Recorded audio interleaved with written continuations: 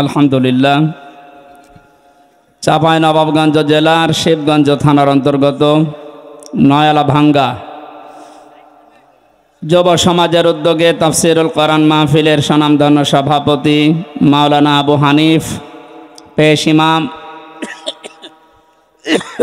মণ্ডলপাড়া জামে মসজিদ, সহসভাপতি জনাব মোহাম্মদ সোজাউদ্দিন মণ্ডল, প্রধান অতিথি সাবেক চেয়ারম্যান উপজেলা পরিষদ শিবগঞ্জ চাপাই নবাবগঞ্জ ইসলামিক চিন্তাবিদ ডক্টর মাওলানা কেরামত আলী।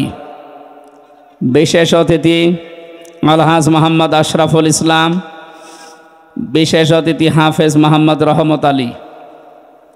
এতক্ষণ যারা আলোচনা রাখলেন মাওলানা হোসাইন আহমেদ মাহফুজ সহ অন্যান্য ওলামা একরাম মঞ্চে বসা সম্মানিত ব্যক্তিবর্গ সামনে বসা মুসলমান ভাইরা, পর্দার আড়ালের সম্মানিতা মা এবং বোনেরা, প্রাণ প্রিয় চাপাই নবাবগঞ্জবাসী। এখান থেকে যান, বসেন। বলেন কিছু লাগবে না, যান। থাক পর্যন্ত থাক। একটু কাজ করে দিন। থাক, যান। যা হচ্ছে ঠিক আছে, যান। সব বসেন। বসেন, বসে পড়েন না, দাঁড়িয়ে থাকেন, কিন্তু কথা বলবেন না।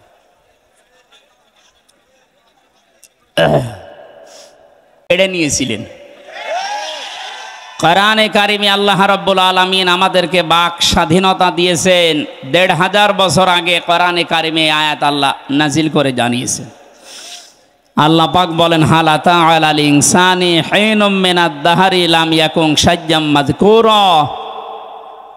মানুষের জীবনে কি এমন সময় যায়নি, যে সময় উল্লেখ করার মতো কোনো বিষয়বস্তু হিসাবে সে পরিগণিত ছিল না।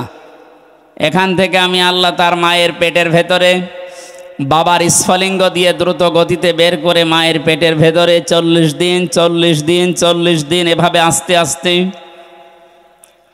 নতফা, আলাক, মদগা এভাবে চামড়া দিয়ে রক্ত গোস্ত তৈরি করে আল্লাহ আখরা জাকুম মিম বোতনি উম্মাহাতিকুম। আস্তে করে মায়ের পেট থেকে দুনিয়াতে বের করে নিয়ে আসলাম। লা ইয়ালামুন আশাইয়া যে সময় সে কিছুই জানতো না। এরপরে আমি আল্লাহ তাকে কথা বলার যোগ্যতা দিয়েছি। খালাকল ইনসান আল্লাহ মাহুল বায়ান। মানুষ বানিয়েছেও আমি একে কথা বলার যোগ্যতা দিয়েছি, আমি আল্লাহ।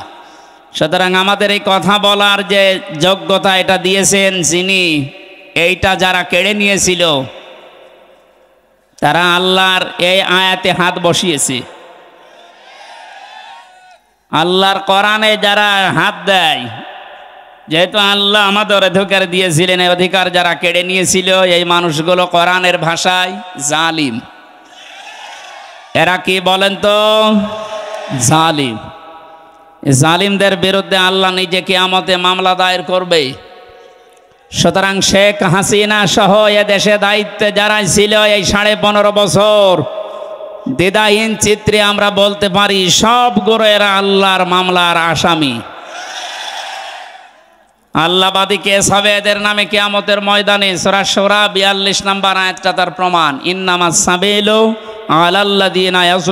নাস। যারা মানুষ হয়ে মানুষের বিরুদ্ধে মানুষের উপরে অত্যাচার চালায়, এরা আল্লাহর মামলার আসামি। এই আয়াত আমরা একশো ভাগ বিশ্বাস করি তো? এক কথা বলেন। আপনি কোন দল করেন আমি জানি না, আমি কোরআন থেকে বলছি। হাসিনা সহ এ দেশে যারাই দায়িত্বে ছিল, এখনও অনেকে আছে এই জালেমদের পাঁচাটা গোলাম। এগুলো সব আল্লাহর মামলার আসামি। কারানি আছে ও আম্মা মাং সাকুলাত মাওয়াজিনহু ফাউম্মুহু হাওবিয়া অমাদ রকামা হিয়া নারুন হামিয়া। কেয়ামতে যাদের ওজনে আমলের পাল্লা, নেক আমলের পাল্লা যাদের হালকা হয়ে যাবে এদের মা হবে, এদের আশ্রয়স্থল হবে। হাবিয়া এখানে মা শব্দটা উম্মুহ শব্দ কেন দিলেন? তাফসিরে মফাসির দিয়েছেন, মায়ের কোলে মানুষ পৃথিবীতে নিরাপদ থাকে বেশি। কথা বলেন না কেন? ওনাদের মা যখন বিদায় নিয়েছে, আমরা চাই ওনারা মায়ের কোলে যে নিরাপদে থাক।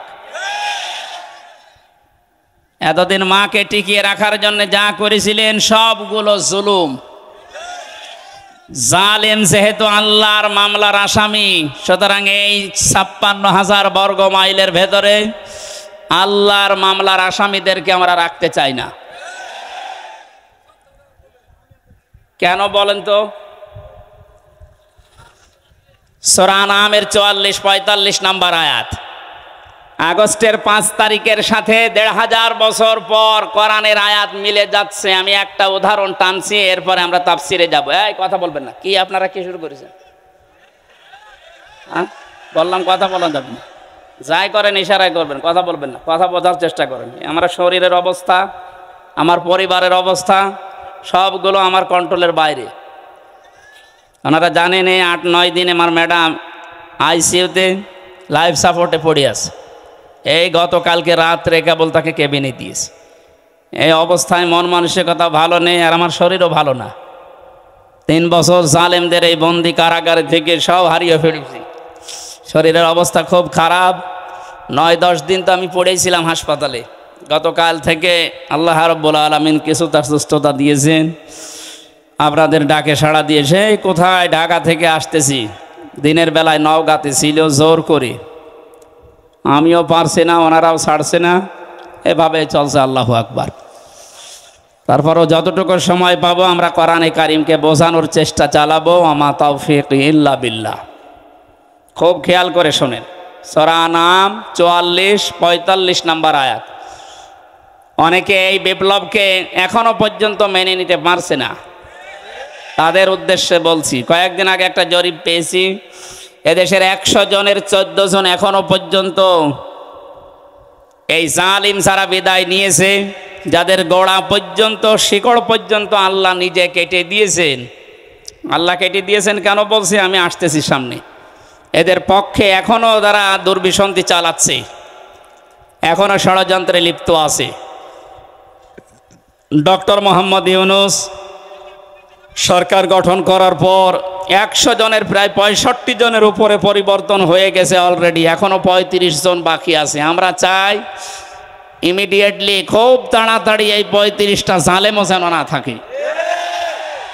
কালকে ডিবি অফিসের যিনি দায়িত্ব পেয়েছেন মল্লিক ভাই, হারু, হারুং আঙ্কেলের এই জায়গায়।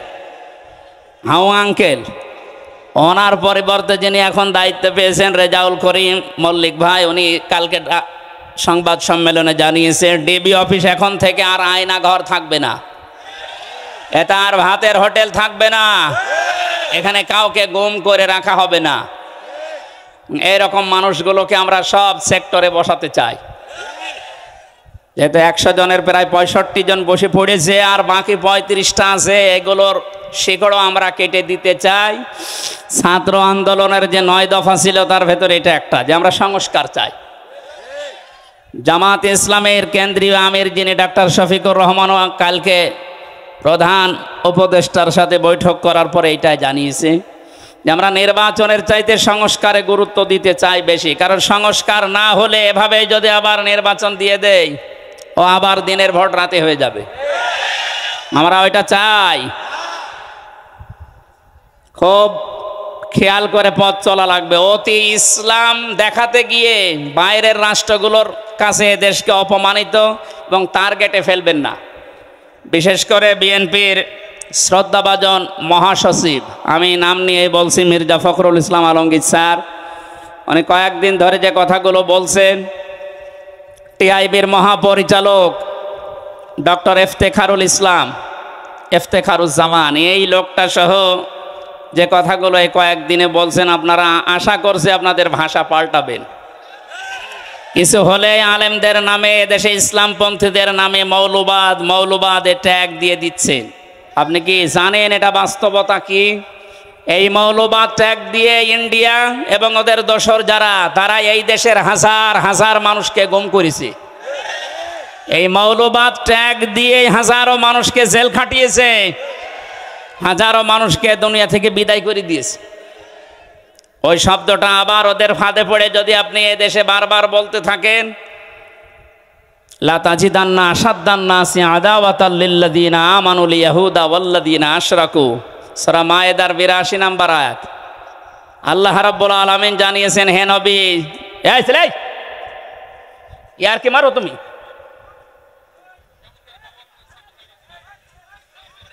পাগল ছাগল কি করতে আসে এখানে? একটা কথা বলে দেখেন এবার বাবার নাম ভুলিয়ে ফেলবে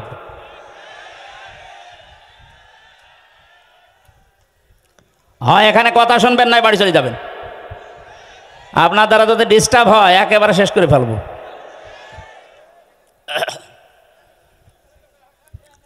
হ্যাঁ আবার কথা বলেন মানে? এখান থেকে যান। সরেন সরেন।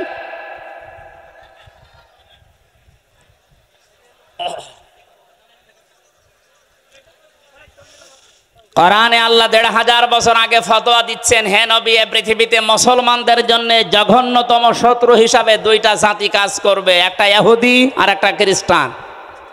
ইহুদিরা যে আমাদের শত্রু, এটা তামাম দুনিয়ায় প্রমাণিত ইসরায়েল খ্রিস্টানরাও শত্রু, এ ঘোষণা কি আমি নিজে দিলাম না আল্লাহ দিয়েছেন? সুতরাং বারবার এ দাদা বাবুদের ফাঁদে পা দিয়ে আবার যদি মৌলবাদ মৌলবাদ এই জিকির আরম্ভ করেন, ওরা হয়তো আপনাকে চেয়ারে বসাবে, কিন্তু এদেশের হাজারো আলেম ওলামা, ইসলামপন্থী মানুষেরা আবার গুম হওয়ার শুরু হবে। আপনি ফাঁদ টের পাচ্ছেন? সুতরাং এই শব্দ যেন আপনাদের মুখে আর কোনোদিন না শুনি। যদি এগুলো শুনি, তাহলে কিন্তু জালেমদের মতো এদেশে আপনাদের এ জনগণ বিদায় করে দিবে। আপনি কাকে মৌলবাদ বলেন? মৌলবাদ না হলে এদেশে আপনার মা বাবার বিয়ে হতো। আপনি তো সারস হয়ে আসতেন। কোথায় হাত দিয়েছেন? আশা করছি শব্দ যেন এদেশে আর কেউ না বলে। এই ধোঁয়া তুলে কিন্তু এই সাড়ে পনেরো বছর ওরা এই এই থালা বাজিয়ে ওরা আমাদের উপর অত্যাচার চালিয়েছে। এটা রেকর্ড হচ্ছে, সারা দেশে কালকে যাবে। সবাই সাবধান, সে যে দল করেন আপনি করেন। কিন্তু এই শব্দটা কোনো ইসলামপন্থী আলেম ওলামাদের নামের আগে যদি আপনি ব্যবহার করেন সত্যিই কিন্তু আপনার খবর আছে।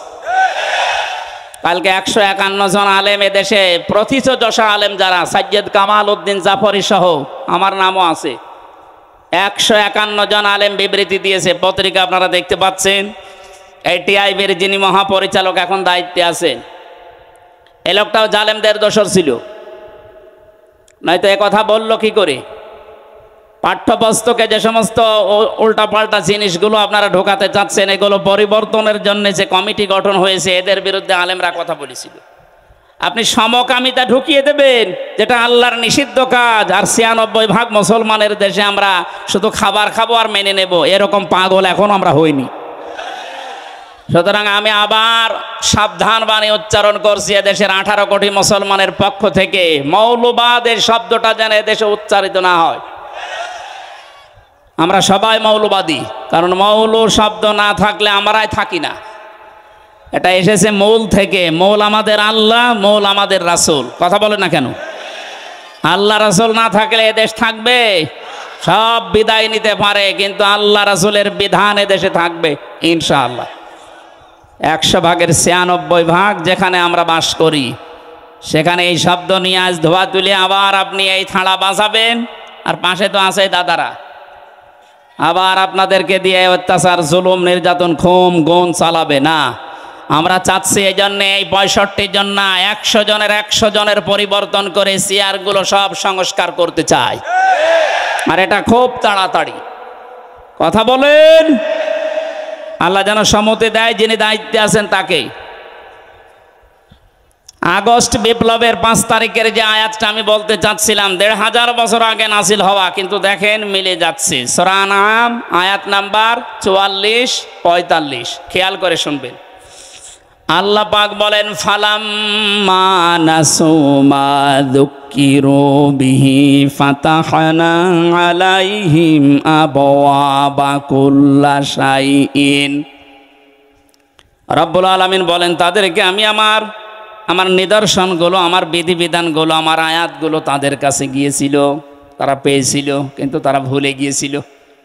যখন এই মানুষগুলো আমার আয়াত জানার পর, দেখার পর, বোঝা শোনার পর ভুলে গেল, আমি আল্লাহ তাদের এই ক্ষমতা, তাদের এই শান্তি, তাদের এই পাওয়ার আমি আল্লাহ দিনের পর দিন আরও বাড়িয়ে দিলাম। এর বাস্তবতা দেখেন, দুই হাজার ছয় সালে আঠাশে অক্টোবর লাঠি বৈঠা দিয়ে জীবিত মানুষকে রাজপথে পিটিয়ে যারা মেরে ফেলেছে, কিছুদিন পরেই তো তারা ক্ষমতা এসেছিল। কথা বলে না কেন? চিন্তা করলাম, আল্লাহ, এত বড় অত্যাচার, এত বড় জুলুম, মানুষ হয়ে মানুষে পৃথিবীতে করে বলে আমার মনে হয় না। জীবিত মানুষকে পিটিয়ে মারার পর তার লাশের ওপরে নাচ দিয়েছে, নৃত্য করেছে ড্যান্স দিয়েছে। এটা পৃথিবীতে নেই, এ বাংলাদেশে হয়েছে। একবার সিরাজগঞ্জ থেকে অনুষ্ঠান শেষ করে যাচ্ছিলাম কুষ্টিয়ায়। বাসের পেছনে তখন বাসে চলাফেরা করতাম। রাস্তার একেবারে মাঝখানে একটা কুকুর মরে পড়ে আছে। ড্রাইভার সাহেব দেখলাম আর পিঠের ওপরে চালিয়ে না দিয়ে বাম দিয়ে চালিয়ে দিল। ড্রাইভারকে বললাম, ভাই, আপনি এরকম বাম দিয়ে চালালেন কেন? ড্রাইভার আমারে বলছে, হুজুর, আপনি দেখেন না একটা মরা কুকুর পড়ে আছে। বললাম তো মরা কুকুর, মরে গেলেই কি আর না গেলেই কি? আমার দিকে তাকিয়ে ড্রাইভার বলছে, হুজুর, আপনি কি আসলেই হুজুর? আপনি কেমন হুজুর? আপনি দেখছেন যে একটা মরা কুকুর পড়ে আছে। এরপর আমি ডবল করে আবার মারবো আমার বিবেক নেই। হ্যাঁ এই কথা শোনার জন্য আমি ছিলাম। একটা মরা কুকুর, নিকৃষ্ট জীব এই পৃথিবীতে যে দুইটা, একটা শুকুর, একটা কুকুর। এরকম নিকৃষ্ট জীব মরে পড়ে আছে। তারপরও আপনি গাড়ি তার উপরে দিয়ে চালিয়ে দিলেন না যে আপনার বিবেক বাধা দিচ্ছে। অথচ সে অনেক মানুষ এমন আমরা পেয়েছি, জীবিত মানুষ মারার পরে লাশের উপরে ড্যান্স দিয়েছে। এদেরকে আপনি কি হিসাবে মানুষ বলেন? ড্রাইভার বলছে, হুজুর, আমি জাতিতে কিন্তু মুসলমান না, আমি একটা হিন্দু মানুষ। আমি জানি এ কথা যা বললেন, ও মানুষগুলো আসলে মানুষ না, ওগুলো জানোয়ার। জানোয়ারের চাই তো খারাপ। কারণ একটা জানোয়ার একটা জানোয়ারের লাশের ওপরে ড্যান্স দিয়েছে, আমি পৃথিবীর কোনো বইতে পড়িও নাই, শুনিও নাই, দেখিও নাই। তো বাংলাদেশ এটা মানুষ হয়ে মানুষের ওপরে করেছে, আমরা দেখেছি। এত বড় জুলুম, এত বড় নৃশংস কাজ করার পরও দেখলাম আল্লাহ তাদেরকে ক্ষমতায় দিল। নাকি? সে যেভাবেই হোক দিয়েছে। নয় সালে আসার পরে পাঁচ বছর চলে গেল, মনে করলাম আল্লাহ তেরো সাল পর্যন্ত মনে হয় ওদের আর যাবে না, শেষ করে দেবে। কিন্তু দেখলাম না, আল্লাহ শেষ করে নাই আরও পাঁচ বছর টিকে গেল। আঠারো সাল, কত? আঠারো সালে মনে করলাম না, যা করেছে এতদিন, এ আর বাঁচার কথা না, এ শেষ হয়ে যাবে এবার। কিন্তু দেখলাম না, ওরা আবার টিকে গেল। পনেরো বছর পার হয়েছে কেন জানেন? কোরআনে কারিমের সোরা আলে ইমরানের একশো আটাত্তর নম্বর আয়তে আছে ولا يحسبن الذين كفروا أنما نملي لهم خير لأنفسهم إنما نملي لهم ليزدادوا إثما ولهم عذاب مهين সরা আলা ইমরানের আয়াতের তাফসিরে ফি জিলালিল কোরআনে মুফাসসির এভাবে দিয়েছেন, আল্লাহ পাক আমি ব্যাখ্যাটা করতে গেলে সময় লাগবে জন্য তাড়াতাড়ি করছি। আল্লাহ পাক বলেন, হে নবী, আপনি কি মনে করেন এই জালেম, এই কাফের যারা, অবিশ্বাসী যারা, তাদেরকে আমি আল্লাহ এই যে ক্ষমতা, পাওয়ার, টাকা, পয়সা, দুনিয়া সব দিয়ে রেখেছি, ওরা মনে করছে আমাদের ভালোর জন্য দিয়েছে, অথচ না। ওদের কল্যাণের জন্যে ওদের ভালোর জন্য এটা আমি আল্লাহ দেয়নি, আমি দিয়েছি। এই ক্ষমতা নিয়ে, টাকা পয়সা নিয়ে, এই শরীর স্বাস্থ্য নিয়ে, প্রভাব প্রতিপত্তি নিয়ে যেন পাপ করতে করতে ওদের পাপের বোঝা পরিপূর্ণ হয়ে যায়। তাই হয়েছে। পরিপূর্ণ যখন হয়ে গেছে আল্লাহম আজাব মহিন, তখন আমি ওদেরকে অপমানজনক শাস্তি দেওয়ার জন্য আল্লাহ রেডি ওই যে সোরান আমের চুয়াল্লিশ নাম্বার আয়াত যে বলছিলাম, এই আয়াতের তাফসির ওই জায়গায় আছে, দেখেন মিল যাচ্ছে। আল্লাহ পাক বলেন মানুষগুলো, যখন আমার আয়াতগুলো আস্তে আস্তে ভুলতে ভুলতে নিজেকে পর্যন্ত ভুলে গেছে সাড়ে পনেরো বছরে নিজে কি ও তাও মনে নেই। সব যখন ভোলা শেষ, আল্লাহ পাক বলেন ফাতাহনা আলাইহিম আবওয়াবা কুল্লি শাইইন। ওই মানুষগুলোর জন্য আনন্দের যে দরজা আছে, একটার পরে একটা আমি আল্লাহ সব বাবের বহু বসনা বোয়াব সবগুলো খুলে দিলাম। ওরা এত আনন্দিত হয়েছে, হাত্তা ইদা ফারিহ বিমা ও তো তাদেরকে যে সুখ সৌন্দর্য তাদেরকে যা আমি দিয়েছি নিয়ামত হিসাবে, এগুলো পাওয়ার পরে তারা এত বেশি খুশি, এত বেশি খুশি। ওরা আর মনে নেই আল্লাহর বিধান কি ছিল, তাদের উপরে এগুলো সব ভুলে গেছে যারা। আল্লাহ পাক তখন তাদের জন্য আয়াতের মাঝের অংশে বলেন ফা বাগতাতান, ফাইদাহুম মুবলিসুন। অতপর আমি আল্লাহ তাদেরকে পাকড়াও করলাম আকস্মিকভাবে আকস্মিকভাবে তাদেরকে আমি ধরলাম বাগতাতান তারা নিরাশ হয়ে পড়েছে। আপনি দেখেন, পাঁচ তারিখে দুপুরের পর থেকে ওরা জীবনে কল্পনাও করে নাই যেভাবে আমাদের পরাজয় হবে। আল্লাহ এদের শেষের দিকে জানিয়েছেন, ফাকতিয়া দাবিরুল কৌমিল্লা দিয়ে কৌমিল্লাদিনা জলামো আমি আল্লাহ নিজে জালেমদের যত শিকড় ছিল সব কেটে সাফ করে দিয়েছি। সুতরাং এদেশে জালেমদের আর কোনো শিকড় আসতে বলেন নেই। দু একটা যদি থাকে ও মুখ বের করলে ধরা খাবে। দু একটা উকি চকি মারছে। আপা, ববু, মায়ের কথা শুনে। ওরা তো ববুকেও মা বলে, মাকেও আপা বলে। ওখান থেকে বারবার একটু সাহস দেয় যে ওদের নাম লিস্ট করে রাখো, আমি আসতেছি। তুমি আসো। বলে, আমি চট করে ঢুকে পড়ব, চট করে ঢুকবেন আর ফট করে আয়না ঘরে ঢুকিয়ে দেব। আমরা তো বেশি করছি না, যা করেছেন আমরা তাই করব। কথা বলেন না কেন? এই জন্যে জালেমদের এই শিকড় পর্যন্ত পাঁচ তারিখে আল্লাহ তুলে দিয়েছে না তো দরবেশের মতো মানুষ। দাড়ি কেটে নম হয়ে গেছে। বাংলাদেশের শ্রেষ্ঠ ধনের তালিকায় ওর নাম ছিল, ছত্রিশ হাজার কোটি টাকা মারিং কাটিং করিস আর সে পালিয়ে যাচ্ছে কি করে দেখেছেন? শিকড় যদি থাকতো তো ওইটা ধরে থাকতে পারতো না। শিকড়ই নেই। দাড়ি পর্যন্ত কেটে ফেলেছে নবী সোননাথকে। তাহলে বোঝা যাচ্ছে ওদের ওই বাহাত্তর রাকাত নামাজ তাহাজ্জুদের নামাজ বলে বাহাত্তর রাকাত পড়তো। আরে ভাই, তাহাজ্জুদের নামাজ তো আট রাকাত থেকে বারো রাকাত। তো বাহাত্তর রাকাত পড়তো মানে? ইসলামের নিয়ম, নীতি নিয়ে ফাসলামি করা। দাঁত ফেলে দেওয়া দরকার এই বেয়াদবগুলো। এই জন্যে পালিয়েছে ওইভাবে। কি ধোকা দিয়েছে মানুষকে দেখেছেন যে আমি বাহাত্তর রাকাত নামাজ পড়ি তাহাজ্জুদের। শয়তান তাহাজ্জুদের নামাজ মাত্র দুই রাকাত দুই রাকাত দুই রাকাত দুই রাকাত, আট রাকাত। নাই, খুব বেশি হলো বারো রাকাত। তুই বাহাত্তর রাকাত পড়িস মানে? ইসলামের নিয়ম, নীতি নিয়ে ফাজলামি করা। ওদের মা যেমন বলতো, লাকুম দিন কোমলিয়া দিন, রাহুল বুখারি। ওরাও তাই করে। অথচ আলাউ তা কব্বালা আলাইনা বাদলা কবিল লাখজনা মিনহু বিল ইয়ামিন। সূরা হাক্কাতের 44 45 46 নাম্বার আয়াতে আল্লাহ জানিয়েছেন আমার কোরআনের ভেতরে কোনো কথা যদি নবী পর্যন্ত বলে যে এটা আল্লাহ বলিস, অথচ আমি বলি নাই। ওই কথা যদি নবী নিজের কথা কোরআন বলে চালিয়ে দেয়, আমি নবীর নিজে আমি আল্লাহর নবীর, আমি আল্লাহর নিজে আমার নবীর। ডান হাত চেপে ধরতাম। না, এটা ঠিক হয়নি। লা লাখজ না এখানে ফায়েল আল্লাহ নিজে।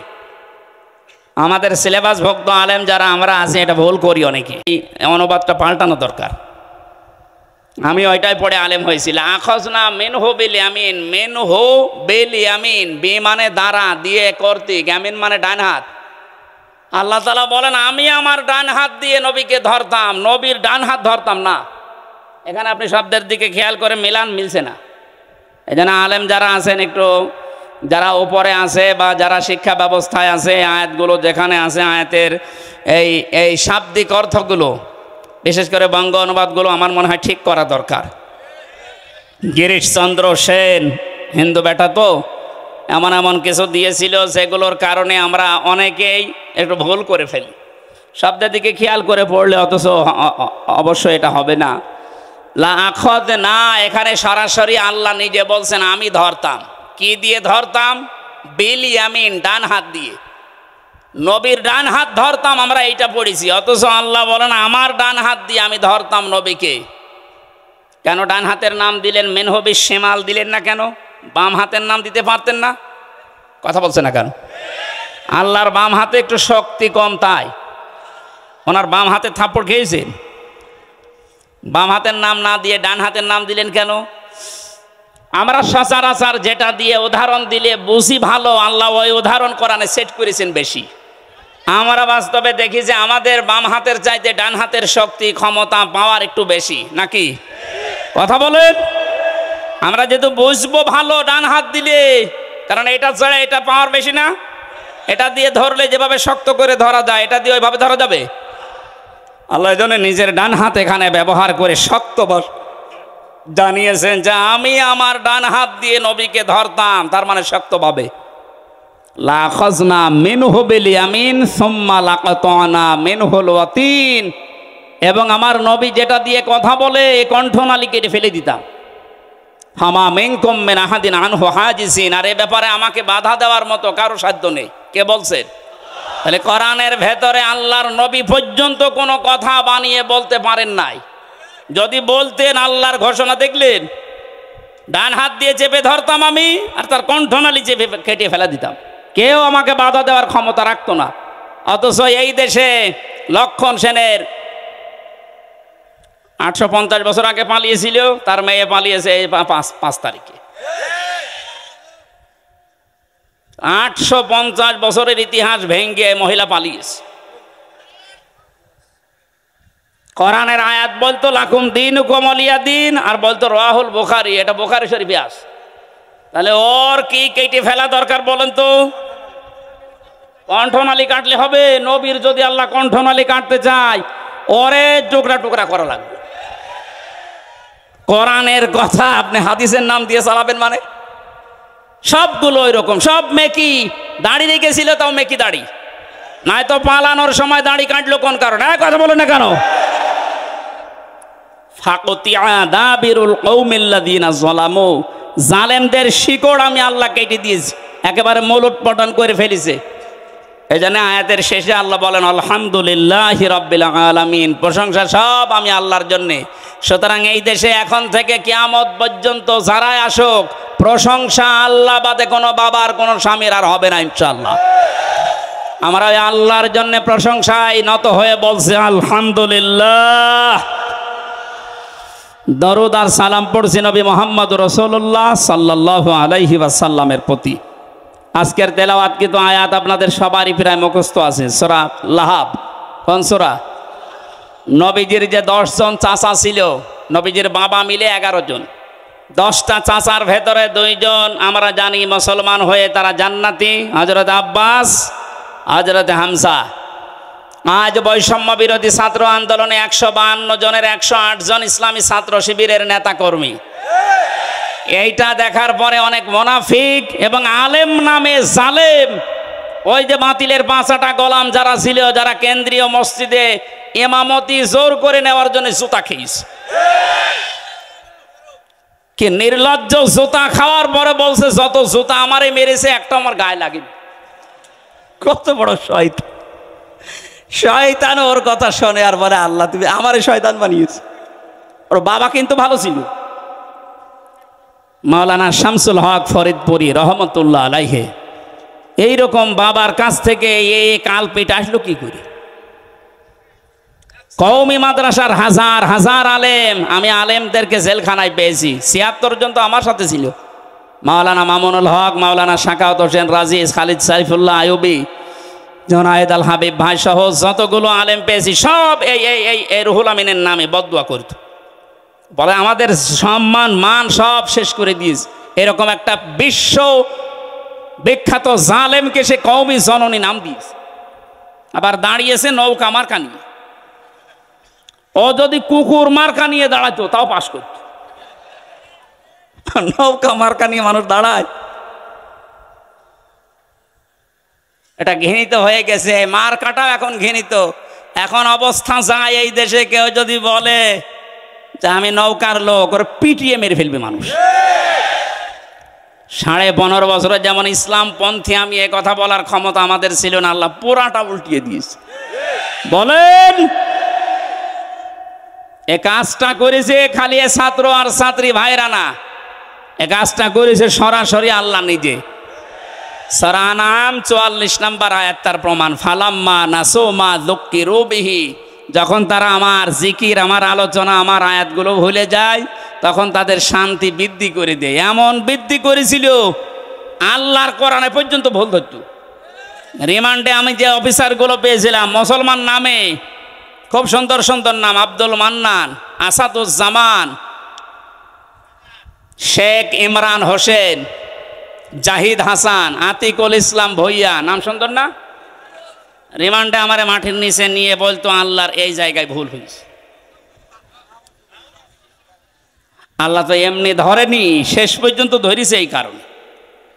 এখন পরিচয় দেওয়া দূরের কথা, খালি মাঝে মাঝে বলো, হুজুর, দোয়া করেন। কি দোয়া করব?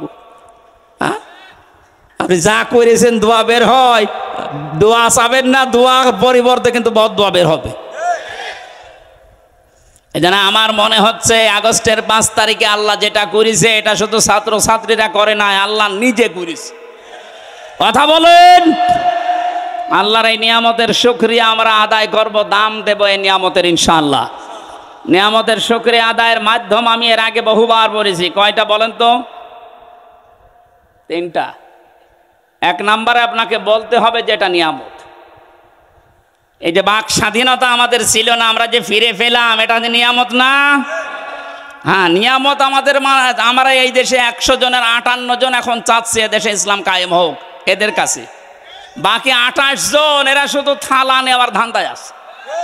আমি নাম নিলাম না।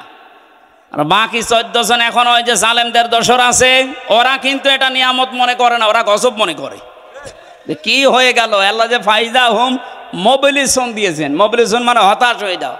হঠাৎ করে নিরাশ হয়ে পড়লে যে কি হয়ে গেল? আমার তো মনে হয় দেড় হাজার বছর আগে করার না এখন দেখে দেখে আল্লাহ নাসিল করছে। যে কথা বলতেছিলাম, আমরা নিয়ামতের সক্রিয় আদায়ের প্রথম মাধ্যম আমরা স্বীকার করছি এদেশের একশো জনের অন্তত আটান্ন জন যে হায় বিষয় আল্লাহর নিয়ামত। এটা কি? দুই নম্বরে আমাদের অন্তরের ভেতরে একটা শান্তি লাগবে, এটা আমাদের লাগে। এই লাগে না? এই বিজয় পাওয়ার পরে এখনও শান্তি পাচ্ছেন না, কারা হাত তোলেন তো? যাক, আলহামদুলিল্লাহ নিয়ামত যে, এটা আমরা বুঝতে পারছি। তিন নাম্বার কি? তিন নাম্বার হচ্ছে, যে উদ্দেশ্যে আল্লাহ নিয়ামত দিয়েছেন, এই নিয়ামতকে ওই জায়গা মতো পৌঁছিয়ে দেওয়া। বাক স্বাধীনতা ছিল না, আল্লাহর বিধান প্রকাশ্যে আমরা মানতে পারতাম না। বলেন হ্যাঁ নামাজ পড়তাম। কিসের নামাজ পড়তেন আপনি? দশজন মানুষ নামাজের পরে যেটা চুপ করেন। একটু বসেন ভাই, কথা বলবেন না, কথা বলেন কন্ত বন্ধ করেন। দশজন মানুষ নামাজে যেটা পড়ে, নামাজের ওই পঠিত বিষয় যদি নামাজের পরে দশজন মিলে একটু আলোচনা করতো, বলতো, গোপন পরামর্শ করছে। এই কথা বলেন, এই অবস্থা ছিল না। এখন আছে ওইটা। দশজন না দশ হাজার মানুষ নিয়ে নামাজে যা পড়েছেন, ওইটা ব্যাখ্যা করেন। কেউ কিছু বলবে না আরও যারা বাধা দেয়, তারা এসে বসে পড়বে। এই যে এই এই বাস্তবতাটা আমরা তৈরি করতে চাই। ডক্টর মোহাম্মদ ইউনুস গত পরশু দিন ওই ঘোষণা দিয়েছেন, ইসলাম অনুযায়ী দেশ চলবে। আলহামদুলিল্লাহ। আমরা চাই তার কথাটা যেন ঠিক থাকে। ক্ষমতায় যে আসে, আসুক না আসে, না আসুক, ওটা দেখার দরকার নেই। আমরা চাই ইসলাম দিয়ে দেশ চলবে। কারণ তিপ্পান্ন বছর বহু খেল দেখেছি। এ খেলা আমরা আর দেখতে চাই না। দেখতে চাই এ দেশ আল্লাহর কালাম দিয়ে চলছে। কথা বলেন। কারা চান মনে প্রাণে এই নিয়ামতকে দেখি লিল্লাহে তাকবীর।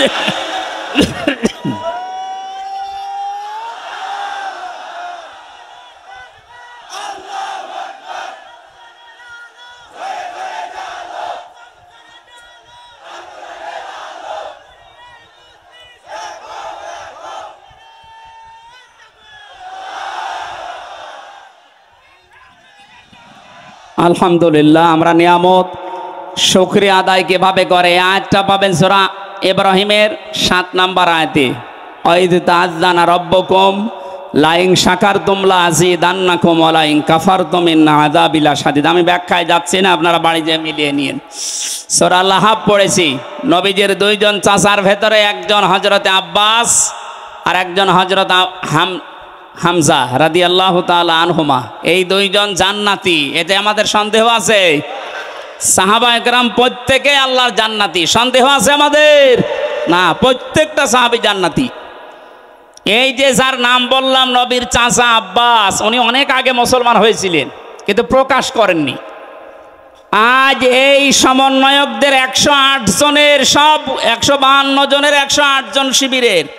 এই জন্য অনেক জালেম নামে আলেম। আলেম নামে জালেম। আর যারা মোনাফিক, আমি নাম নিলাম না, এরা এখন উচ্চবাচ্য করছে। বিশেষ করে কিছু রাম আর বামরা, পরিচয় গোপন করে তারা এই কাজ করল, এরা মোনাফিক। আরে শয়তা হজরতে আব্বাস নিজে পরিচয় গোপন করে আবু সেহেলের সাথে ছিলেন। এমনকি নবীর বিরুদ্ধে পর্যন্ত বদরের ময়দানে যুদ্ধ করতে গেছে আবুল জেহেলের সাথে। অথচ তখনও তিনি মুসলমান। তার পুরা জীবনী পড়ে দেখেন তাহলে পরিচয় গোপন করে ইসলামের কাজ করা, নবীর কাজ করা, এটা নবীর সাহাবিদের সন্না। নবীর মাদের সন্না, নবীর মা হজরতে সাল্লামের মা। তার সন্তানকে গোপন করে, পরিচয় গোপন করে দুধ পান করিয়েছিলেন নিজের আপন সন্তানকে। এটা কোনোদিন শোনেননি? হজরতে ইব্রাহিমকে নিজের মা পরিচয় গোপন করে লালন পালন করেছিলেন। এক কথা বলে না কেন? এরকম একটা, দুইটা না, হাজার হাজার ঘটনা ইতিহাসে আছে। সুতরাং ইসলামী ছাত্র শিবিরের যে ভাইরা, সাদিক কায়ে কায়েম ভাই সহ, যারা এস এম ফরাদ সহ, যারা পরিচয় গোপন করে জালেমদের সাথে মিশে ওদের গোড়া কেটে দিয়েছে, এদের সংবর্ধনা দেওয়া দরকার। আর এরা এখন ফতোয়াবাজি করছে হ্যাঁ পরিচয় গোপন করল, এরা মোনাফিক। আরে শয়তান, মোনাফিক হওয়ার যে লক্ষণগুলো কোনটা পেয়েছিস ওর ভেতরে? মোনাফিকের যে চারটা আলামত আছে, কথা বললে মিথ্যা কথা বলে, ওয়াদা দিলে খেলাপ করে, আমানত রাখলে খেয়ানত করে, আর কারও সাথে ঝগড়া হলে গালি দেয়। তো এইগুলো কাদের ভেতরে পাওয়া যায় আপনি দেখতে পাচ্ছেন না? মুখের ভাষা দেখিয়েছেন টকশোতে যেটা বাহাত্তর রাখাত নামাজ পড়তো, ওর মুখের ভাষা দেখেছেন বাকে গেল না নাই বললাম। এদের মুখের ভাষা শুধু না, এদের চরিত্র ওই রকম নিকৃষ্ট। বুড়ো হয়ে কবরে চলে যাচ্ছে, তারপরও উল্টাপাল্টা কাজ ছাড়ে না। ওদের চরিত্র প্রত্যেকেরটাই এরকম, একটারও ভালো পাইনি আমি। যত মানুষকে নাম শুনি দেখি, এখন বাস্তবে প্রত্যেকটা চরিত্র শয়তানের চাইতেও খারাপ। এখনও পর্যন্ত যদি আপনার হোশ না ফেরে এতে কবে আবার হুশ ফিরবে বলেন তো? আমরা যেহেতু তাফসিরুল কোরআন মাহফিল দিয়েছেন, তাফসিরের দিকে যাচ্ছি। এই জন্য ঐতিহাসিক একটা প্রেক্ষাপট বলছি। নবীদের আরও দুইজন চাষা জাহান্নামি, একটা আবু লাহাব আর আবু তালেব। এই যে আবুল আহাব যেই লোকটা, তার নামে আল্লাহ একটা সোরা নাজিল করলেন। কেন দিয়েছেন? ঐতিহাসিকরা লিখেছে, এটা বখারি শরীফের ভেতরে আছে। এই যে আব্বাস রাদি আল্লাহ তালু তার সন্তান আবদুল্লাহ বর্ণনা করছেন। বিশ্বনবী নবদ পাওয়ার পর হেরা গুহা থেকে যখন হজরতে খাদিজাতুল কোবরার কাছে এসে বললেন, ইয়া খাদিজা, জাম্মিলুনি জাম্মিলুনি, আমাকে ঢেকে দাও। আমি আমার নিজের জীবনের ওপরে আশঙ্কা করছি, ভয় পাচ্ছি। আমার জীবন সম্পর্কে আমি ভেতর সন্তুষ্ট, আমি ভয় পেয়েছি। এই এই এই এই দেখেছিলাম। এক পা আকাশে, এক পা জমিনে বিশাল এক ফেরেস্তা আমার কাছে এসেছিল। হাজরাতে খাদিজাতুল কোবরা ওই দিন নবীজিকে ছয়টা সান্ত্বনা দিয়েছিলেন। এখানে মা বোন যারা এসেছেন খুব খেয়াল করে মিলাবেন। হজরতে খাদিজাতুল কোবরা ওই দিন ডাক দিয়ে বলেছেন, আবুল কাশেম, ভয় পাবেন না আপনি। কাল্লা কখনোই না। অল্লহি মা ইউখজি কাল্লাহু আবাদান। আল্লাহ কখনো আপনাকে অপমান, অপদস্থ, ভয় দেখাতে পারে না, আপনাকে লাঞ্ছিত করতে আল্লাহ পারে না। কে বলছেন এ কথা? স্ত্রী। কে বলছেন? বলেন বলেন। আমরা বাইরের জায়গা থেকে কাজকর্ম করে কর্মজীবন শেষ করে দিনের দাওয়াত দিয়ে বাড়িতে আসার পর আমাদের স্ত্রীরা যদি এই ছয়টা কথা যেটা খাদিজাতুল কোবরা বলেছিলেন আপনার সম্পর্কে, আমার সম্পর্কে, আমার স্ত্রী, আমার ঘরের মানুষ যদি বলতে পারে, আপনি বুঝবেন, আপনি নবীর পথে আছেন। আর যদি দেখেন যে না, এগুলোর একটাও বলছে না, তাহলে বুঝবেন আপনি নবীর তরিকায় নেই, অন্য তরিকায় আছেন। খাদিজাতুল কোবরা এতটুকু বাক্য উচ্চারণ করার ভেতরে তিনি আল্লাহর নবীকে শুনিয়েছিলেন, আল্লাহর নাম দুইবার। অল্লাহি, আল্লাহর কসম। কাল্লা, কখনো না, মা ইখজি কাল্লাহু আবাদান। কখনো আল্লাহ আপনাকে অপমান, অপদস্থ করতে পারে না। ছোট একটা বাক্যে খাদিজাতুল কবরা আল্লাহর নাম বললেন কয়বার? আরও জোরে। অথচ তিনি তখন পর্যন্ত মুসলমান হননি। তখন কিন্তু এখনও দাওয়াত পাননি মুসলমান হবেন কি করে? মুসলমান না হওয়ার পরেও তিনি এ পর্যন্ত খাদিজাতুল কবরা আল্লাহর নামে দুইবার উচ্চারণ করে নবীকে অভয় দিচ্ছেন। আপনি ভয় পাবেন না। এন্না কালা তাসিলুর রেহমা। গরম পানিটা পানি খেলা করার জন্য কিছু লাগবে না, আপনি এখানে বসেন বসেন। বেকার ডিস্টার্ব করলেন।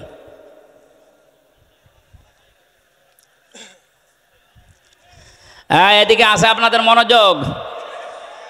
হজরতে খাদিজা বলেছিলেন, হে নবী, হে আমার স্বামী তাসিলুর রেহমা। আপনি রেহেমের সম্পর্কগুলো ঠিক রাখেন।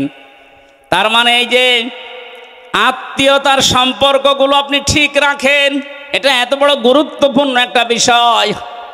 আজকে আমরা বাংলাদেশে অনেকের ভেতরে এই আচরণটা পাচ্ছি না। ধর্ম বাবা পাতিয়েছে রাজশাহীতে বছরে তিনবার করে যায় সেখানে। অথচ নিজের আপন বোন গরিব, সেখানে বছর একবারও যায় না। আর এটা যায় না, তার কারণ আছে অন্যতম বাধা হচ্ছে এই লোকটার স্ত্রী। এই কথা বলছে না কেন? এমন অনেক বউ আছে, নিজের ননদকে, নিজের দেবরেরকে যদি স্বামী সাহায্য করে, তাহলে তার মন পাওয়া যায় না। অথচ ধর্ম আত্মীয় পাতিয়েছে সে শিবগঞ্জে, সেখানে আপনি পাঁচবার বউ নিয়ে যান, ও আনন্দে আছে, ও খুশি আছে। সম্মানিত মা বোন যারা এসেছেন, আপনি কি মনে করেন শুধু নামাজ পড়া, রোজা করার কালো বোরকা পরা এবাদত? না। আপনি যদি মনে করেন যে আপনার স্বামীর হায়াত আরও বেড়ে যাক, বেশি দিন আমার স্বামী দুনিয়ায় বেঁচে থাক আমার স্বামীর মান সম্মান, টাকা পয়সা, ইজ্জত আবরু আরও বেড়ে যাক। নবীজি বলেন, ওই স্ত্রীর উচিত সে যেন তার স্বামীকে বারবার তাকিদ দেয়। তুমি যাই করো, অন্তত এ রেহেমের সম্পর্কগুলো ঠিক রাখো। আত্মীয়তার সম্পর্ক যেগুলো আছে রক্তের, এইগুলো তুমি ঠিক রাখো। এরকম বউ আছে কার ঘরে বলেন তো হাত তোলেন। ঠিক আছে, আলহামদুলিল্লাহ। তাও তো তিন চারজন আছে। আই আমি হাসির জন্য বলি নাই। হাজার হাজার মানুষের ভেতরে মাত্র তিন, চারজন। বাকিগুলোর অবস্থা কোন জায়গায় আছে এখন বলেন? খুব ঝামেলায় আছি আমরা নাকি।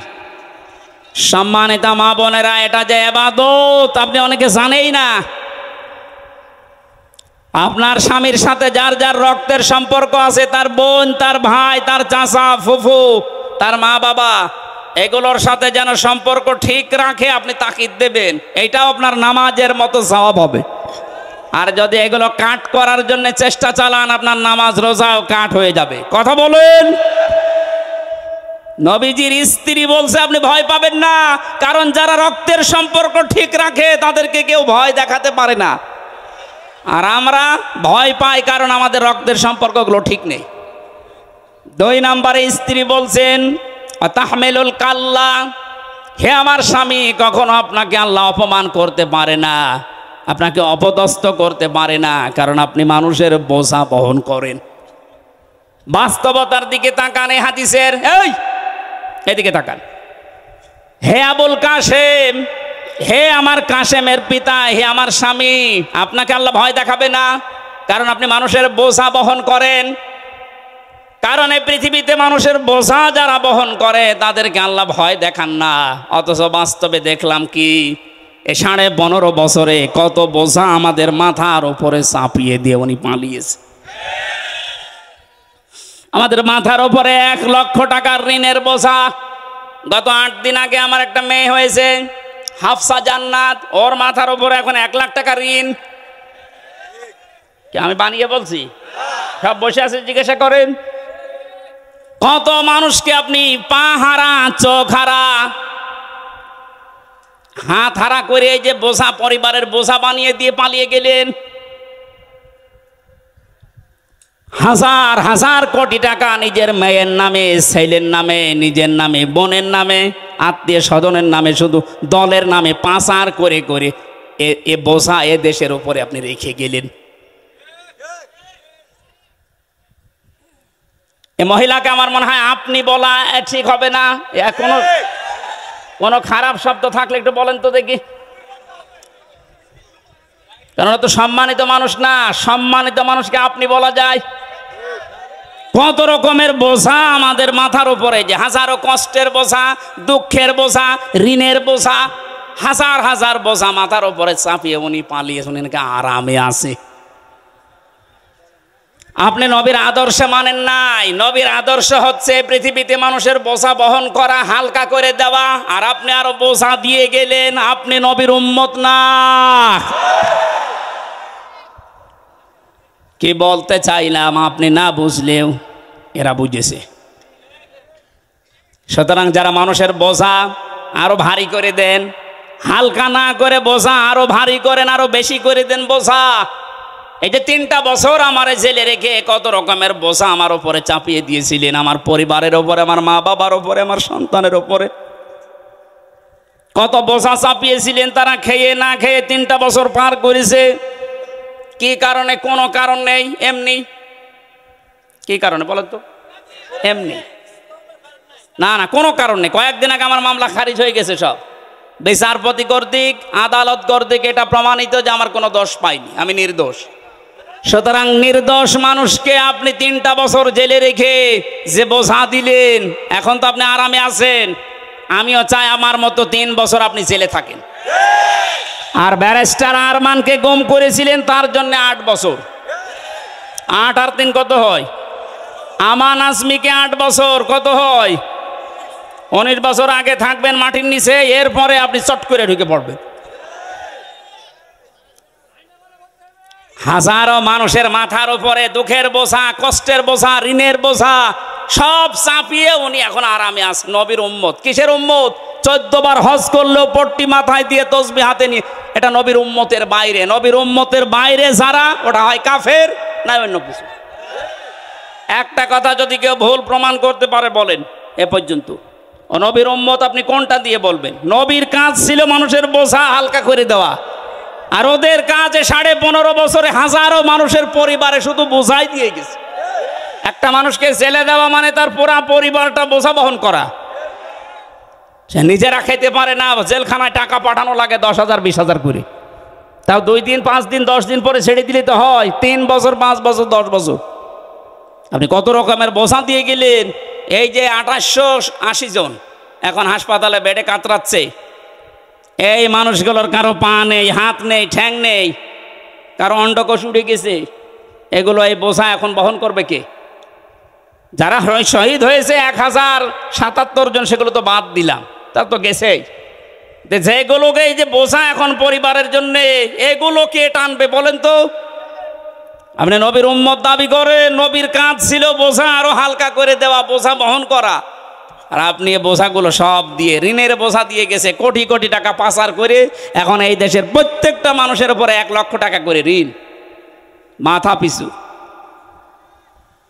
ডক্টর মোহাম্মদ ইউনুস উদ্যোগ নিয়ে যে দেশ থেকে যত টাকা পাচার হয়েছে, সব টাকা ফেরত নেওয়া হবে, রাষ্ট্রীয় কোষাগারে জমা হবে এবং যারা টাকা দিতে পারবে না, তার বউ, ছেলে, মেয়ে রাষ্ট্রের কাজে লাগবে। কোনো ছাড় নেই। মানে এ বোঝা আমরা বহন করব কি করে? তারপরও আমেরিকাতে এই অনুষ্ঠানে গিয়ে উনি যে ডলারগুলো নিয়ে এসেছেন, এভাবে যদি আনতে পারেন, দেশটা দাঁড়াবে। এত ঋণ, এত বোঝা বহন করা সম্ভব?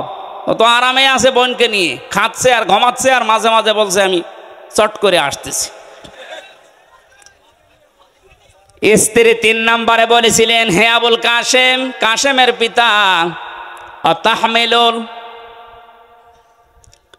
তাকসিবল মাদমা, আপনি মানুষের বস্ত্র, যাদের বস্ত্র নেই তাদের বস্ত্রের ব্যবস্থা করেন। যারা অলঙ্গ অর্ধ অলঙ্গ তাদেরকে আপনি ঢেকে দেন। আর আপনি কি করলেন? এই সাড়ে পনেরো বছরে কত মানুষের পোশাক আপনি খুলে নিয়েছেন? পোশাক মানে শুধু এই পোশাক না, হাজার হাজার আলেমদের চরিত্রের উপরে কলঙ্ক দিয়ে তাদের পোশাক খুলে নিয়েছে। এ মাওলানা মামুনুল হককে সেনার তহমত দিয়ে তার নিজের স্ত্রী, আমি তিন বছর লোকটার সাথে ছিলাম। আপনার চাইতে আল্লাহর ভয় তার ভেতরে কম নেই যে সে সেনা করবে। আপনার নিজের সারা জীবন একটু মিলান তো সেনায় ভরপুর। আপনার হাতের সেনা মুখের সেনা চোখের সেনা বাকি সেনার নাম নাই বললাম। আর আলেমদের ওপরে এটা চাপিয়ে তার পোশাক খুলে নিয়ে মানুষের কাছে প্রমাণ করতে চেয়েছে যে চরিত্র ভালো না। কোরআনের পাখি বিশ্বনন্দিত মফাসিরকেও তারা নাম দিয়েছে যে ধর্ষক। শয়তানে বিশ্বাস করবে? রিমান্ডে আমারে ওরা আল্লামা সাইদি এবং আর একটা মহিলার কণ্ঠ এক জায়গায় করে শোনাতো, দেখেন আপনার হুজুররা কি চরিত্র খারাপ। অরে শয়তান! নিজেদের চরিত্র ওরা আলেমদের উপরে চাপিয়ে, এই যে ছোট হুজুর যেটা ছিল রফিকুল ইসলাম মাদানি, ওরা পুরা উলঙ্গ করে হাতের ছিলে ওর হাতের উপরে একটা ই দিয়েছে, সিগারেট। আর আবার ধরুন একটা মেয়ে লোক নিয়ে ছবি তুলে বলিস এটা ছেড়ে দেবো। দেখেন কত চরিত্র ওদের কখন জায়গায় পৌঁছিয়েছে আল্লাহর নবী আরও মানুষের পোশাক পরিয়ে দিত, আর এরা পোশাক খুলে নিস। হাজার হাজার মানুষের চরিত্রের পোশাক, গায়ের পোশাক পর্যন্ত খুলে খুলে এই সাড়ে পনেরো বছর আনন্দ করিস। এরা নবীর উম্মত না, কারণ এটা নবীর আদর্শ না। কথা বলেন। আপনি মেহমানদারি করেন, অতিথি পরায়ণ। আজ তাকান সারা দেশের দিকে, নবীর এই আদর্শগুলো যারা ধারণ করে, তাদের হাতে আমরা দেশটা দিতে চাই। জামাতের কেন্দ্রীয় আমির ডাক্তার শফিকুর রহমান নিজের পরিবার ওই রকম না, তারপরও এই শহীদদের পরিবারে দুই লক্ষ করে টাকা পৌঁছিয়ে দিচ্ছে সারা দেশে। যার পোশাক নেই, তাকে ঢেকে দেওয়ার জন্য চেষ্টা চালাচ্ছে। যার অঙ্গহানি, তার বাড়িতে গিয়ে হাসপাতালে যে খোঁজ নিচ্ছে তে মানুষগুলোর চরিত্র তো রসুলের সাথে মিলে যাচ্ছে। কথা বলেন। অত আলা নওয়াইবিল হক। আর আপনি হককে সাহায্য করেন, হক প্রতিষ্ঠার জন্য কাজ করেন। নবীজির স্ত্রী যা যা বলেছিল নবীর পক্ষে, আমরা এখন বাস্তবে দেশে বাংলাদেশ জামাত ইসলামী ইসলামী ছাত্র শিবিরের ভেতরে দেখতে পাচ্ছি। করেন আর খুশি হন, এইটাই বাস্তব। তাহলে হাদিস বাদ দিয়ে দেন। এগুলো মিলে যাচ্ছে খাপের খাপ মন্তাজের বাপ। আমরা করব কি, মিলে গেলে? আপনার সাথে তো মিলছে না। হ্যাঁ আপনি নিয়ে আসেন, আপনার সাথে কি মিলছে আমি দেখাচ্ছি। সোরাল লাহাব আপনার সাথে মিলবে। বলব, সুতরাং নবীর হাদিসের সাথে যাবর যাদের জীবন চরিত্র মিলে যাচ্ছে, তাদেরকে একটু দিয়ে দেখা যায় না যে কেমন চলে দেশটা। তিপান্ন বছর তো দেখেছি, ডাক্তার শফিকুর রহমান ঘোষণা দিয়েছে, পনেরো বছর লাগবে না, মাত্র দশ বছর আমাদের হাতে দেন। সাদা বাস, এ নাম বাংলাদেশে থাকবে না। একটু বিশ্বাস হয় না, আপনাদের একটু দিয়ে দেখেন না কেন? কত মানুষের নাম তো শুনলাম আমরা। কেউ পারে নাই। আরও সাদাবাসি করেছে। পাঁচ তারিখের বিকাল আসতে দেরি আগস্টের। অনেকে সাদাবাসিতে লিখে পড়েছিল। এখনও হাতে থালা পাইনি তাই যদি অবস্থা হয়। থালা পেলেও তো বড় সাদাবাস হবে। সুতরাং আমরা চাই এমন মানুষকে দিতে যিনি ঘোষণা অলরেডি দিয়ে দিয়েছে। যদি ইসলাম এদেশে ক্ষমতায় আসে, আমাদেরকে যদি আপনারা দেন, আমরা জাতির শাসক হব না, খাদেম হব। সাদাবাস না, ভিক্ষা করে খাবেন সাদাবাসি করবেন না ঘোষণা দিয়েছেন উনি কালকে। এক কথা বলে না কেন? একটা বার একটু দেওয়া যায় না, আমরা দিতে চাই। আমি সাধারণ মানুষ হিসাবে আহ্বান জানাচ্ছি, এবার আমরা দিতে চাই। কথা বলেন। যে জরিপটা শোনালাম, একশো জনের চোদ্দ জন জালেমদের অনুসারী এখনও, একশো জনের আঠাশ জন ওই থালা থালা, আর একশো জনের আটান্ন জন এখন চাচ্ছে ইসলাম কায়েম হোক। এটা মাত্র এই দেড় মাসের ব্যবধানে, আরেক কিছুদিন যেতে দেন, একশো জনের একশো জনই চাইবে এদেশে ইসলাম কায়েম হোক। আমরা ওইটা দেখতে আছি হ্যাঁ অতি উৎসাহী হয়ে অতি ইসলাম পালন করবেন, এই মনোভাব নিয়ে কোনো জঙ্গিবাদ সন্ত্রাসবাদ এরকম কোনো কাজ যেন করবেন না, এ দাদাদের পাল্লায় পড়ে। কারণ ওরা আপনাদেরকে অতি ইসলাম, এটা মানার আগ্রহ দেখিয়ে আবার ওই ট্যাগ দেবে। মৌলবাদ, জঙ্গি, উগ্রবাদী এরকম ট্যাগ দিয়ে শেষে বিশ্বের কাছে আবার কালার করবে। আবার ওই থালা হাতে নেবে নিয়ে আবার গোম খুন শুরু হবে, কথা বলে না কেন? আমরা এ সুযোগ দিতে চাই না, অতি ইসলাম। না, যেভাবে ইসলাম পালন করা দরকার বা আস্তে আস্তে শুরু করেন। সোরাল্লাহাব নবীজি এখানে নবত পাওয়ার পরেই চলে গেলেন বাতাহা নামক একটা পাহাড়ের উপরে উঠে তিনি ইয়া সবাহা ইয়া সবাহা বলে ডাক দিলেন। তিনি একটা লাল কাপড় উড়িয়ে দিয়েছিলেন। এটা ছিল ওই জামানার এই স্যাটেলাইট। কারণ এখন যেমন এই যে এই মিডিয়াগুলো কাজ করছে, এটা ছড়িয়ে দেওয়ার জন্যে ওই জামানার স্যাটেলাইট ছিল, মিডিয়া ছিল এই লাল কাপড়।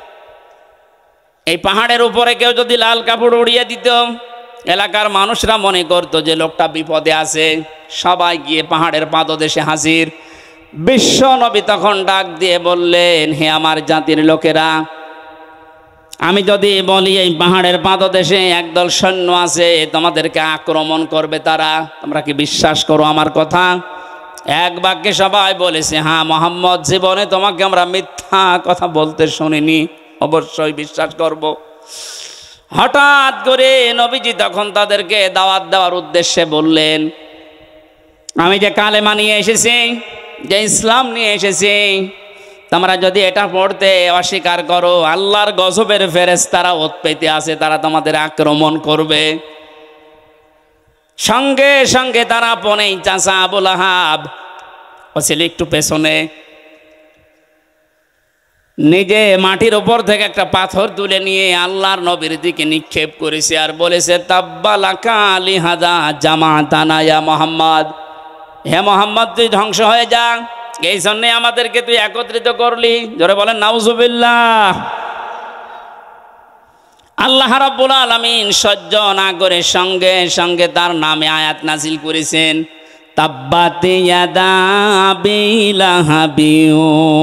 ওয়াতাব আয়াতের প্রথম অংশে আল্লাহ ধ্বংস কামনা করলেন তার, আর দ্বিতীয় অংশে তার পরিচয় তুলে ধরলেন।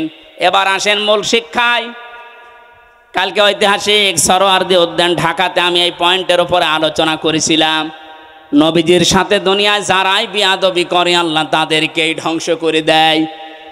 আজ ফ্রান্স থেকে শুরু করে বাংলাদেশে অনেকে নবীজিকে নিয়ে কটুক্তি করছে। স্পষ্ট ভাষায় বলতে চাই, এদেশে কিন্তু নবীর উম্মত ছিয়ানব্বই ভাগ। নামাজ কালাম আমরা কম পড়তে পারি, নবীর উম্মত, এ ব্যাপারে আমাদের কোনো সন্দেহ? বলেন, আপনি বুঝে করেন আর না করেন, নবীকে নিয়ে যদি কোনো কটুক্তি হয় এ পনেরো বছর তো বাবাকে নিয়ে কিছু করলে তাই খবর ছিল। নবীকে আপনি গালি গালাজ করেন, অসুবিধা নেই, কিন্তু দিন পাল্টিয়ে গেছে। এখন থেকে কিয়ামত পর্যন্ত আমরা ঘোষণা দিয়ে দিলাম, এ দেশে যদি সত্যিই কেউ নবীকে নিয়ে উল্টাপাল্টা কোনো মন্তব্য করেন, কোন দলের, কোন গোষ্ঠীর, কোন পরাশক্তির, আর দেখা হবে না। দাঁত ভাঙা জবাব দেওয়া হবে ইনশাআল্লাহ। আল্লাহ নিজে বরদোয়া দিলেন, তাব্বাত ইয়াদা। আবুল আহাবের দুই হাত ধ্বংস হয়ে যাক। প্রশ্ন আসতে পারে, ও পাথর মেরেছিল কয় হাত দিয়ে? তাহলে এই হাতও ধ্বংস করে দিলেন মানে? আপনি যদি এই মোবাইলটা এখান থেকে এখন ছুড়ে মারেন, আমার এই হাত নড়েনি? আর কথা বলেন না কেন? পাথরটা যখন এইভাবে অনেক অনিক্ষেপ করেছিল, এই হাত নড়াচড়া করে সাহায্য করেছিল। আল্লাহ জন্য ইয়াদা নিয়েছিল, শব্দটা ইয়াদানি এজাফতের কারণে ওটা পড়ে গেছে। আল্লাহ দিয়ে বসন দিলেন, এই জন্য না দিয়ে এদা একালিপ টান আছে। তাব্বাতি আবি লাহাবি আল্লাহ বলেন আবুল আহাবের দুই হাতি ধ্বংস হয়ে যাক এবং সে ধ্বংস হয়েছে। জবাব হচ্ছে এই, যেহেতু এ হাত নড়াচড়া দিয়েছে আজ বাংলাদেশে পাঁচট পুস্তকে যে কমিটি বানানো হয়েছে, এখানে মুসলমানদের আলেম এদেশে কম আছে। পাঁচজন আলেমকে নিতে পারেন না। এক কথা বলে না কেন? নাস্তিক মোরতাদের দায়িত্ব দিয়ে ওরা সমকামিতা ঢোকাতে আছে। পুরুষে পুরুষে নাকি বিয়ে করবে? মহিলা মহিলায় বিয়ে করবে। আল্লাহর পুরা সিস্টেম পাল্টিয়ে ফেলছে। কোন জাতি, কোন সৃষ্টি যদি তার নিজের আকৃতি পাল্টিয়ে ফেলে, তাকে মেরে ফেললেও কোনো গুণা নেই। এটা আমি বানিয়ে বললাম। সোরা নেশার ভেতরে আছে, কোন সৃষ্টি যদি তার নিজের আকৃতি পাল্টিয়ে ফেলে। এই জন্যই তো নবীজি আয়াতের ব্যাখ্যায় আছে বিশ্ব নবী জানিয়েছেন, কোন মহিলা যদি পুরুষের শ্বাস গ্রহণ করে, তার উপরে চব্বিশ ঘণ্টা আল্লাহ লানত। কোন মহিলা, কোন নারী যদি নিজের আকৃতি পাল্টিয়ে পুরুষের বেশ ধরে, কোন পুরুষ যদি নিজের আকৃতি পাল্টিয়ে মহিলার বেশ ধরে আর সিনেমা, নভেল, নাটক যারা বানাচ্ছেন, নারীর বেশ পুরুষে ধরছে, পুরুষের বেশ নারী ধরছেন, ধরেন, আমরা নিষেধ করছেন আপনার জাহান নামে যেতে চান, আরও দরকার হয় পাশায় লাত্তি দিয়ে দেব। কোনো অসুবিধা নেই, কিন্তু সাবধান। আজ এ সমস্ত নভেল, নাটক এই বানিয়ে অনেক রসুলের দাড়ি লাগিয়েছে, রসুলের টুপি মাথায় দিয়েছে, জব্বা গায়ে দিয়ে প্রেম প্রীতি এগুলো দেখাচ্ছে। আমরা এটা সামনে আর মেনে নেব না। বিশ্ব নবীর আদর্শ দিয়ে কলঙ্কিত করে সিনেমা মানাবেন এটা দেশের মুসলমানেরা অনেকে বোঝে না, তাই কিছু বলে না। বুঝে যদি ফেলে, আপনার কিন্তু খবর হয়ে যাবে। সুতরাং আগামীতে এরকম সিনেমা আমরা বন্ধ করতে চাই। এরকম নভেল নাটক, থিয়েটার আমরা বন্ধ করতে চাই, যেখানে রসুলের দাড়ি, তার টুপি, তার জব্বাকে অপমান করা হচ্ছে। এগুলো দিয়ে একটা বেপরদা মহিলার সাথে প্রেম প্রীতি করবে আর ওগুলো দেখাবে মানুষকে। এটা যেহেতু বিভিন্ন ভাষায় ড্রাভিং হবে, সারা পৃথিবীতে যাবে, মানুষ বুঝবে যে মুসলমানদের নবীর চরিত্র মনে হয় এরকম নবীর চরিত্র কি এরকম ছিল? বিশ্বনবী মসজিদে নামাজ পড়তে যাওয়ার সময় একটা বেপরদা মহিলা সামনে পড়েছিল। সঙ্গে সঙ্গে নিজের দৃষ্টিকে নিম্নগামী কমে বাড়িতে আসলেন। হজরতে হাফসাকে ডাক দিলেন। হজরতে হাফসাকে ডাক দিয়ে মন মতো দেখলেন। হজরতে হাফসা বলেন, হে রাসল, আপনি তো মসজিদে যাচ্ছিলেন। হঠাৎ এসে আমাকে দেখা আরম্ভ করলেন। নবীজি বললেন, দেখো, মসজিদে যাওয়ার সময় একটা বেপর্দা মহিলা আমার সামনে পড়েছিল। আমি তাড়াতাড়ি এসে ওকে না দেখে তোমাকে দেখলাম ওকে দেখলে আমার কবিরা গোনা হবে, তোমাকে দেখলে আমার স্বভাব হবে। যে নবীর চরিত্র এত পুত পবিত্র, তার টুপিকে, তার দাড়িকে আপনি এই নিলয় আলমগীর নাকি এক শয়তান আছে? এর মুখে লাগিয়ে প্রেম প্রীতি শিখাচ্ছে। কথা বলেন না কেন? যারা এগুলো করছেন, এর পেছনে যারা বাম হাতের মতো নাড়াচাড়া দিচ্ছেন, আমরা কিন্তু তাদের চিনি। পাঠ্যপুস্তকে যারা ছিয়ানব্বই ভাগ মুসলমানের দেশে উল্টাপাল্টা জিনিস লাগাচ্ছেন, এই দুইজন নাস্তিকের কাজ না। এর পেছনে অনেক রাঘেব বল মনে হয় হাতে, এই বাম হাতের মতো নাড়াচাড়া দিচ্ছে। যারা দিচ্ছেন, সাবধান। আল্লাহ যদি ধরে, এ হাত শুধু না, এ হাত ধ্বংস করে দেবে। এবং ধ্বংস হবে নতাব্বা। আবুল আহাব যেমন নিজে ধ্বংস হয়েছিল, আজ যারা ইসলামের বিরুদ্ধে, নবীর বিরুদ্ধে ডান হাত ব্যবহার করছেন, বাম হাত দিয়ে অনেকে পেছন দরজা দিয়ে নাড়াচাড়া দিচ্ছেন, আপনি ধ্বংস হবেন মাস্ট বি ধ্বংস হবে কাসাব। আপনার সম্পদ আদি যা অর্জন করেছেন, একটাও কাজে আসবে না। বাস্তব প্রমাণ এই দরবেশের। একটা টাকাও কাজে আসতেছে। শুনলাম হাট আর অবৈধ টাকা নিয়ে এসে নাকি এখন রিমান্ডে বাড়ির খাবার খাচ্ছে। বাড়ির খাবার, আমাদেরকে মাকানো খাবার এনে দিতেন। আর এত বড় দেশের শত্রু, ছত্রিশ হাজার কোটি টাকা যার কেলেঙ্কারি, তারে বাড়ির খাবার খাওয়ানো হচ্ছে মানে? দেশের মানুষ এখনও জানে না, যদি জানে যে অফিসে তার এরকম জামায় আদর করা হচ্ছে, অফিস কিন্তু উড়িয়ে যাবে। কথা বলুন! জালেমদের কোনো ক্ষমা নেই, যাদের মেকি দাড়ি ছিল দাড়ি কেটেছে। দাড়ি কাটা মানে রসুলের গলায় ছুরি লাগানো। এই শয়তান বলে, মাঝে মাঝে হজে যায়। কিসের হজে যায়? আমি যাই কয়বার হজে গেছি, শুনলাম এখানে আসবে দরবেশ। কোন তারা? এক কাবা শরীফের পাশে যে টাওয়ারটা, ওই টাওয়ারে থাকে। সব সময় আল্লাহর ঘর দেখে সোবান আল্লাহ পড়ে। কিসের সোবান আল্লাহ এদিকে সোবান আল্লাহ পড়ে, আর এদিকে টাপা টাকা পাচার করে। ওর এই সম্পদগুলো একটাও আল্লাহ কাজে আসতে দেয়নি, সব ধ্বংস করে দিয়েছে। সায়াসলানা রংজাত আলাহাব অতি শীঘ্রই আমার আল্লাহ তাদেরকে তাদেরকে বলতে, এই যে আবুল আহাব যার নাম, এর নাম ছিল আব্দুল উজ্জা। এত বড়, এত সুন্দর ছিল তার চেহারা, আগুনের লেলিহান শিখা যেটা ওই যে উপর দিয়ে জহব্বার মতো বের হয়ে যায় ওই রকম চেহারা ছিল তার। আল্লাহ পাক বলেন, অতি শীঘ্রই আমি তাকে আগুনের লেলিহান শিখায় প্রবেশ করাবো, আমরা আতুহু এবং তার স্ত্রীকেও। প্রশ্ন আসতে পারে, তার স্ত্রীর দোষ কি? হা, আজ এই বাংলাদেশে আমরা অনেকে আবুল হাবের স্ত্রী উম্মে জামিলের মতো মহিলা সচককে দেখতে পাচ্ছি। আবুল হাব তো করেছেই তার স্ত্রী পর্যন্ত নবীকে কষ্ট দিয়েছিল। নিজের সন্তানকে, দুইটা সন্তানকে নবীর নই মেয়ের সাথে বিয়ে দিয়েছে। আল্লাহর নবীর মেয়ে হজরতে উম্মে কুলসুম এবং রোকাইয়া এই দুইটা মেয়েকে বিয়ে দিয়েছিল ওতবার তাইবার সাথে। এই দুইটা ছেলের সাথে বিয়ে দিয়ে নবীজি যখন দিনের প্রসার আরম্ভ করলেন, এই এই সরাল লাহাব যখন নাজিল হচ্ছিল, তখন এই মহিলা নিজে তার ছেলে দুইটাকে ডাক দিয়ে বলেছে, দেখো মোহাম্মদ আমাদের নামে কবিতা বানিয়েছে গালি গালাস করে জোরে বলেন, নাউজুবিল্লাহ। কোরআনের আয়াতগুলো কি কবিতা? আরও জোরে বলেন। নিজের ছেলেকে ডাক দিয়ে বলছে, এই মুহূর্তে মোহাম্মদের দুইটা মেয়ে তার মুখের ওপরে তালাক দিয়ে ফেলে দিয়ে আয়। এমনিতেই নবীজি অসহায়, গরিব মানুষ, নিজের সংসারই ওই সময় চলে না। যারা মেয়ের বাবা আছেন, একটু ভাবেন তো, দিনের কাজ করতে গিয়ে আপনার দুইটা মেয়েকে যদি জামাই সঙ্গে সঙ্গে তালাক দিয়ে বাড়িতে দিয়ে যায়, একটা বাবার জন্য পরিস্থিতি সামাল দেওয়া কত কঠিন বলেন। আল্লাহর নবী ওই দিন এত বেশি কন্দন করেছিলেন। ছেলে দুইটা তার মায়ের কথা শুনে, তার স্বামীকে দিয়ে এই কাজ করিয়ে দুইটা মেয়েকে তালাক দিয়ে নবীজির বাড়িতে ফেলে দিয়ে আসলেন। নবীজি ডাক দিয়ে বললেন আল্লাহ পাক তুমি দুইটা কুকুর পাঠাও এই দুইজন মানুষের জন্যে। এত বড় কঠিন অবস্থায় আমার দুইটা মেয়েকেও আমার পরিবারে দিয়ে গেল তালাক দিয়ে। আল্লাহর নবীর কথা শোনার পর ওরা বাড়িতে গিয়েছে। এই উম্মে জামিল আবুল হাবের স্ত্রী ডাক দিয়ে বলে, সন্তানেরা যা করেছ মার হাবা তোমাদের। হ্যাঁ? তোমাদেরকে মোহাম্মদের মেয়েকে ওখানে দেওয়ার সময় কিছু কোনো কথাবার্তারা কি শুনতে পেয়েছ? আবুল হাবের দুই সন্তান উদ্বার ওথায় বা ডাক দিয়ে বলে, আম্মা, আবুল হাব আমার বাবার কথা মতো, আপনার কথা মতো আমরা দুইটা বোনকে তালাক দিয়ে এসেছি।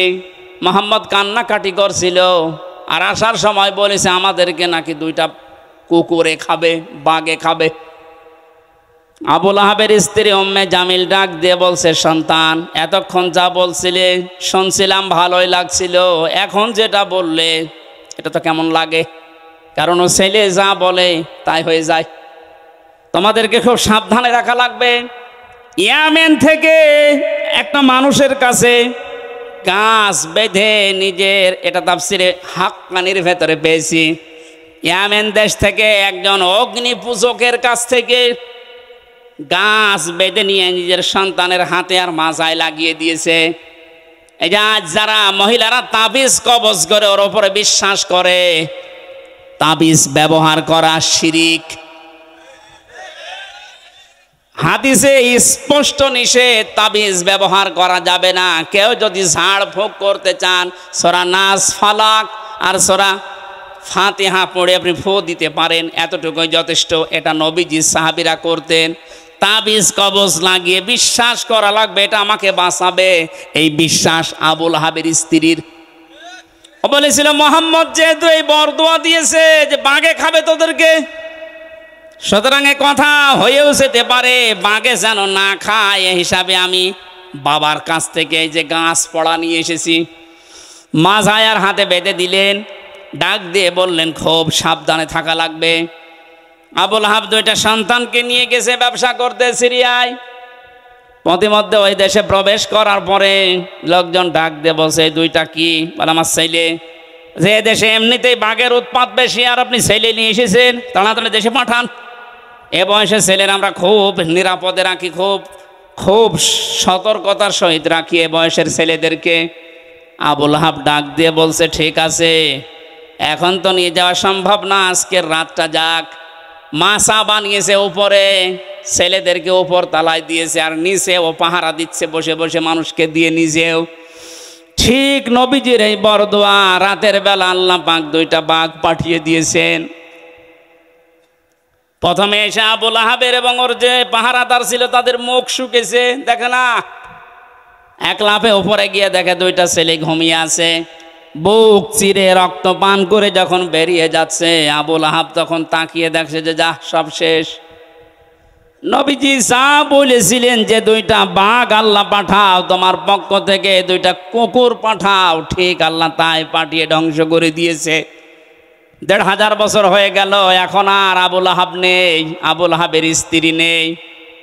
কিন্তু তার পেতাত্তারা আছে, তার আত্মীয় স্বজন আছে। নবীর আদর্শ যারা মেনে চলে, নবীর উত্তরাধিকারা, যারা নবীর ওয়ারিস যারা নায়েব রসল, যারা তাদেরকে আপনি যা করছেন, এদের বরদোয়া কোনো কাজে লাগবে না বলে কি মনে হয় আপনার? কোরআনের পাখি যা যা বলেছিল জীবনে, আমরা তো দেখছি সব একটা একটা করে মিলে যাচ্ছে। উনি বলেছিলেন সালেমদেরকে দেশে ইঁদুরের গর্ত তোমরা পাবে না, ঠিক পাচ্ছে না। ইঁদুরের গর্তে জায়গা আছে ওদের। বলেছিলেন যে এই দেশে নাড়া দেওয়া হবে, দিল্লি মামুগার বাড়ি গিয়ে পড়বা, একেবারে তাই পুলিশ তিন নাম্বার ওনার একটা স্বপ্নের কথা মাঝে মাঝে বলতেন, এই দেশে জালেমদের নাকের উপরে কোরআনের পতাকা পথ পথ করে উঠবে এই স্বপ্ন বাস্তবায়ন হবে ইনশাল্লাহ আবুল বাড়িতে আসলেন প্লেগ রোগ দেখা দিল তার শরীরে। আল্লাহ রব্বুল আলমিন এত কঠিন, ভয়ঙ্কর রোগ তাকে দিয়েছিল, তার কাছে যে যায় তার এই রোগ হয়। শেষ পর্যন্ত ধুকে ধুকে মারা যায়, পড়েছিল পৌঁছে গলে দুর্গন্ধ বের হচ্ছিল। আশপাশের লোক এসে, তার আত্মীয় স্বজন যারা আছে, তাদেরকে ডাক দিয়ে বলছে, আপনার কি মানুষ? নিজের বাবা, নিজের আত্মীয় মরে পড়ে আছে পয়সে গলে মা দুর্গন্ধ বের হয়, আপনারা মাটি দেন না। তখন ডম বা মসি যাদেরকে বলা হয়, এরকম মানুষ, আফ্রিকার কালো মানুষদেরকে ডাক দিয়ে দূরে গর্ধ করে বাঁশ দিয়ে, ঠেলা দিয়ে, লাশ ওখানে দিয়ে, এরপরে পাথর দূর থেকে নিক্ষেপ করে করে ওরে মাটি দিয়েছে। আল্লাহ রব্বুল আলমিন এটাই জানাতে চেয়েছেন, আমি ওকে এমন কঠিন, ভয়ঙ্কর শাস্তির ভেতরে ফেলেছিলাম। নবীর বিরুদ্ধে, নবীর ওয়ারিসদের বিরুদ্ধে কিয়ামত পর্যন্ত যারা অবস্থান নেবে জমিনে, আমার আল্লাহ তাদেরকে ঠিক এই রকম অপমান করেই বিদায় দেবেন। ফিজি দিহা এই মহিলার নামে আল্লাহ এই দুইটা আয়াত নাজিল করলেন। এই কারণে পৃথিবীতে যত মহিলা নবীকে কষ্ট দিয়েছে, তার ভেতরে এই মহিলা এক নাম্বার। এত বেশি কষ্ট দিত নবীকে, তার স্বামীকে সাহায্য করে করে যেখানেই নবীজি দাওয়াত দিত, সে তার স্বামীকে নিয়ে বলতো, ওই পাগলের কথা শুনবা না। লোকজন এসে বলতো, আমরা তো পরিচিত না। পাগল বলেন, কে এই লোকটা? আপনারা কে? তখন পরিচয় দিত, এইটা ওর চাষা আর আমি ওর চাষি জোরে বলেন, নাউজুবিল্লাহ। বিশ্বনবী সব যাইতে বেশি কষ্ট পেয়েছিলেন এই দুইজনের দ্বারা ইসলাম প্রচার করতে গিয়ে। এই জন্য আল্লাহ আবু সেহেলের নামে, কোরআনে আবু সেহেল নামে কোনো সোরা দেয়নি। আছে? সোরা আলাকের ভেতরে আবু সেহেলের নামে একটা সোরা, একটা আয়াত আছে শুধু। আর এই লোকটার মানে এর বর চরিত্র এত খারাপ ছিল, এত কষ্ট নবীকে দিয়েছে। আল্লাহ নিজে তাদের নামে আয়াত নাজিল করে না, শুধু পুরা সোরাটাই নাজিল করে দিয়েছে। আমাদের শিক্ষা নেওয়া লাগবে আগামী পৃথিবীতে বিশ্ব নবীর নামে কোনো উল্টাপাল্টা কথা যেন কেউ না বলে। নবী তো নেই, নবীর ওয়ারিসরা আছে। কথা বলেন না কেন? নবীর এই ওয়ারিসদের বিরুদ্ধে যারা আজ মৌলবাদ ছড়াচ্ছেন, আপনাদেরকে আমরা সাবধান করেছি। আর কোনোদিন এই শব্দ দিয়ে নবীর ওয়ারিসদেরকে গালি দেবেন না। আপনারা কেন দিচ্ছেন আমরা জানি, আপনারা দাদাদের ফাঁদে পা দিয়েছেন। ওরা ফাঁদে পা দিয়ে যদি পনেরো বছর এত গনক্ষম করতে পারে, আবার যদি ফাঁদে পা দেওয়ার চেষ্টা করেন এদেশের যারা সাধারণ মানুষ আপনাদেরকে সাপোর্ট করে, যদি একবার বুঝে ফেলে যে আপনারাও দাদাদের দাসর, দালাল, একবারে জালেমদের মতো আপনাদেরও বিদায় করবে ঝাঁটিয়ে। আল্লাহ আশা করে আমাদেরকে সমতি দেবেন, বলেন আমিন। বখারে শরীফের একটা হাতিস পড়েছিলাম, মান রাম এঙ্কম কারণ যে ব্যক্তি দেখে কোনো অন্যায় কাজ তার সামনে হচ্ছে শরীয়ত বিরোধী, ইসলাম বিরোধী কাজ, তার ইমানের প্রথম দাবি হচ্ছে সে যেন হাতের দ্বারা বন্ধ করে দেয়। হাত মানে শুধু এই হাত না, ক্ষমতার, পাওয়ারের টাকা পয়সার প্রভাব, প্রতিপত্তির। সুতরাং এখন যেহেতু উন্মুক্ত দুনিয়া, এদেশে কোনো অন্যায় কাজ যদি দেখেন, শরীয়ত বিরোধী, এটা ইসলাম বিরোধী, মানবতা বিরোধী, সে যেই হোক আমাদের যতটুকু যার হাত আছে, ক্ষমতা আছে, টাকা পয়সা আছে, প্রভাব প্রতিপত্তি আছে, ইমানের প্রথম দাবি ওইটা দিয়ে বাধা দেওয়া। কেউ যদি বলে, না, আমি ওর ভেতরে নেই, আমি লা ইলাহা ইল্লাল্লাহ, কাউকে কিছু বলি না। ওটা মুনাফিক। এটা ইমানের প্রথম দাবি। দ্বিতীয় নম্বরে যদি হাতের দ্বারা কাজ না হয়, নবীজি বলেন, সে যেন প্রতিবাদ করে মুখে, যেটা এখন আমরা অধিকাংশ মানুষ করছি। এটা জারি রাখা লাগবে জালেমদের বিরুদ্ধে। কোন জালেম যেন কেয়ামতের আগে চেয়ারে আর বসতে না পারে। জালেমদের তালিকা করে করে মোড়ে মোড়ে দোকানে দোকানে টাঙিয়ে দেন। কোন জালেম যেন আর মাথা উঁচু করে দাঁড়াতে না পারে। কথা বলেন। এটাও যদি আমরা না পারি, শেষ পর্যন্ত অন্যায় দেখে যেন অন্তত ঘৃণা করি, অন্তর দিয়ে আর এটা চেষ্টা করি, কি করে এটা বন্ধ করা যায়? জালিকা দাফুল ইমান নবীজি বলেন, এটা ইমানের একেবারে সর্বনিম্ন পর্যায়। এইটাও যদি না থাকে বসবা তোমার ইমান নেই, তুমি একটা বেঈমান। আল্লাহ আমাদেরকে যেন বেঈমানের খাতায় নিয়ে না যায়। ইমানের এই তিনটা স্তরের যে স্তরে আমরা পারি, প্রথমটা পারলে তো ফার্স্ট ক্লাস দ্বিতীয়টা পারলে সেকেন্ড ক্লাস শেষেরটা পারলে থার্ড ক্লাস অন্তত যে কোনো একটাই তো থাকতে পারি নাকি? আজকের এই কাজটা যেহেতু একটা ভালো কাজ করান প্রচারের কাজ ভালো কাজে একে অন্যকে সাহায্য করো। আপনারা নিজেরা করেননি, ওরা করেছে, ওনারা সাহায্য চাচ্ছে, আপনাদের সমর্থ মতো দিয়েছেন এখন যারা যাচ্ছে, ওদের কাছে অন্তত এই আয়াতটা মেনে নিয়ে কিছু সর্বশেষ একটু দিয়ে যান।